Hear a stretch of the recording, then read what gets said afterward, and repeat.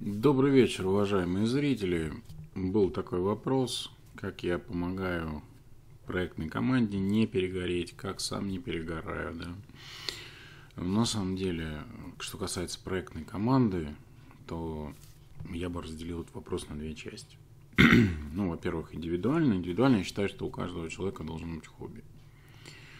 Если у человека нет хобби, то ну, накапливается негатив психики, а потом он все равно прорывается. Мы сейчас не будем обсуждать, почему. Если когда-нибудь я запишу курс по психологии, то мы обсудим это. Пока просто примем как данность, что негатив он накапливается, и если он не выплескивается, то, скорее всего, прорвется и прорвется истерикой, скандалами и так далее и тому подобное. Какое будет хобби, не знаю. Как говорится, о вкусах не спорят, а хобби ну, не конфликтуют. У меня у самого вот есть хобби, о них я могу рассказать, если вдруг кому-то интересно. Кому не интересно, а, могут это пропустить. Что касается еще менеджер проекта должен, ну, по крайней мере, стараться поддерживать в рабочем режиме более-менее комфортную психическую обстановку. Первое, что это значит? Пресекать интриги. Второе, пресекать конфликты. Внутри команды интриг и конфликтов быть не должно. Их и так за пределами команды выше крыши. Вот.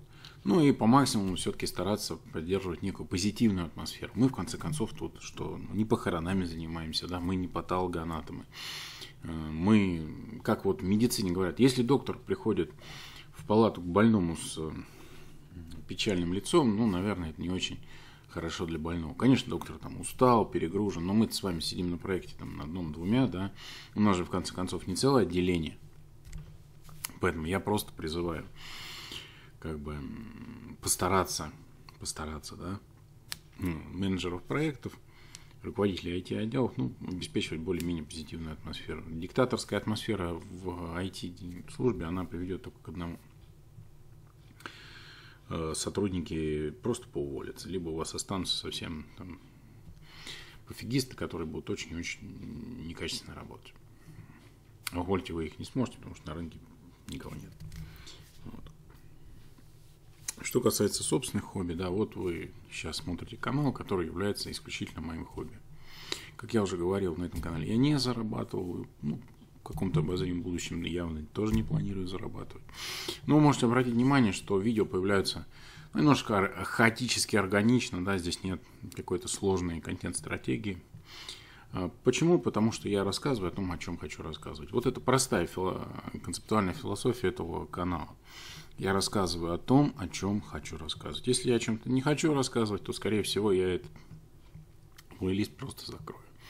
С другой стороны, да, я пишу заказные коммерческие видео обучающие, провожу тренинги там чуть ли не по организации бизнес-процессов для руководителей различных подразделений в различных компаниях. Но вы должны понимать, да, это хобби как говорил один из великих писателей, если ты можешь не писать, не пиши. Иногда вот э, я не могу не писать, да. Даже если там будет два просмотра, ну, пускай будет два просмотра и все два мои. Вот. Второе хобби это философия и геополитика. Что касается философии, я думаю, все в курсе. Вот что такое философия. Да, я действительно люблю читать философскую литературу классическую, да, будь то это Платон, будь то это Кант, Гегель, самые разные философии. Я не являюсь приверженцем какого-то одного направления. Что касается геополитики, ну, это старое хобби, выросшее из изучения философии и истории, в принципе, да, изучение, ну, понимание как бы окружающего меня мира, интереса к нему. Ну, и последнее хобби, да, это инвестиционная деятельность, а, работа на, на скорее, с биржевыми инвестициями, с акциями, облигациями, ну, в основном акциями различных компаний. Ну, это, в общем-то, логично для человека, который э, профессионально занимается постановкой управленческого учета в компаниях, э, интересоваться этим вопросом.